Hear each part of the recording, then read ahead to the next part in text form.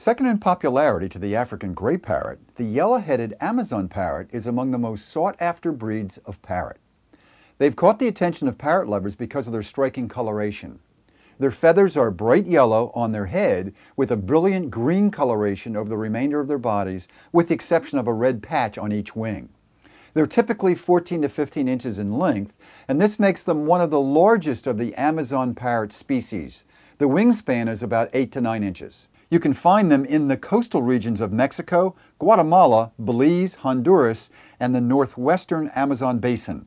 They prefer tropical or subtropical forests where trees are available for nesting. You can find them in savannas and mangrove swamps as long as there are established trees in the area. In past years, you could obtain these magnificent birds through a broker that dealt in parrots from South America. However, they're now on the endangered list because much of their native nesting areas have been destroyed with deforestation that has occurred as civilization has slowly moved into their natural habitat.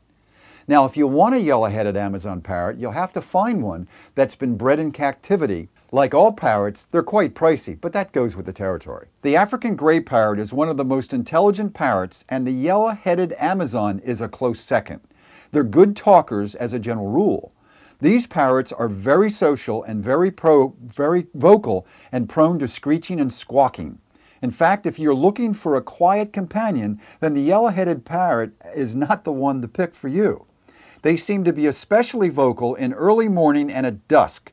The good news is that they are great imitators. With proper training, you can get them to talk. Additionally, they need a large assortment of chewing toys and branches to curb their natural inclination to use their beaks for grasping and climbing. They have an active nature and are rarely shy around strangers.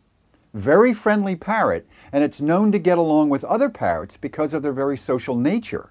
In the wild, you actually can see them flock together in large groups that can exceed a hundred birds.